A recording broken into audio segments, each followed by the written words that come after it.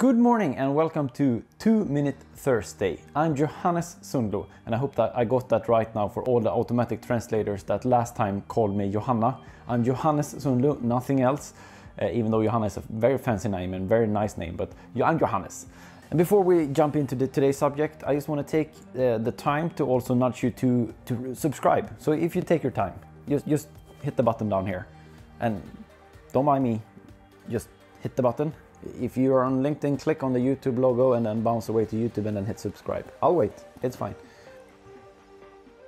What we're going to talk about today is NA-KD versus the interns, influencers, employee situation that has occurred in Sweden. Let's put two minutes on the clock and we'll start now.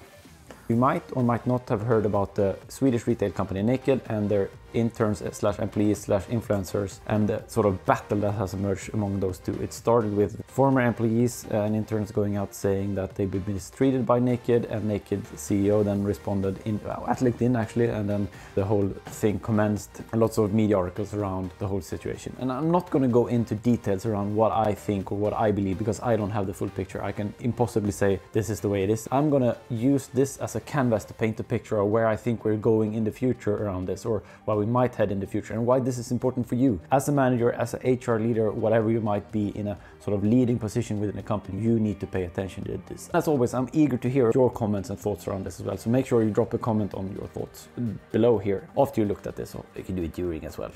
Over 10 years ago, when we started HR Sweden, we started to talk about social media and the impact it would have on work and workplaces. Already back then, we saw the potential of social media to become a megaphone for employees that were mistreated. And obviously, we'll always have people that feel like, hey, I've been mistreated. This has accelerated, I think, during the years. And we've seen some instances where this has happened, but I think this is a major one where you can actually see NA-KD that is in the forefront of working with influencers and uh, employing people that are active in social media in a way that we've never seen before. But bear in mind that the generations to come, if you look at the recent report about how Swedes use the internet, for example, younger folks, or almost all younger folks, they use social media one way or another. So this will become norm that you have people that are highly active on social media.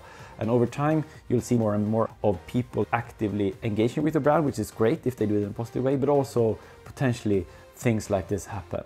And what does that mean for us? Uh, what does it mean for you as an employer? What does it mean for you as a manager? What does it mean for you as an HR leader? I think there's one common thing that we all need to take into consideration, and it, we need to act with dry feet and a warm heart. So we, we got to make sure that we do the right things. And you got to act empathetic and you got to act in a way that you truly can take a stance for in public because all things might end up in public these days. And if you don't get that now, please get it fast because this is happening and all all your employees are potentially megaphones around what's going on within your company. And obviously you can always argue like have your loyalty duty as an employee. To some extent, yes. And Traditionally, when someone was unhappy, they went to the union. But as we are less unionized now, and younger people especially, as they see unions as being more irrelevant, uh, where should they turn? What's their last outpost? When you're in a desperate state, where do you go to?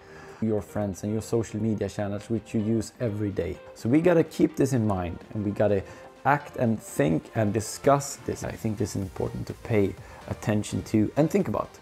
Saying this once again, I have no clue about the situation at this company.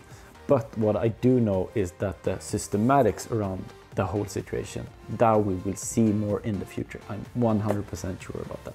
Let me know your comments down below and I'll see you. I'll see you actually next week. Make sure to drop a like and feel free to share the video.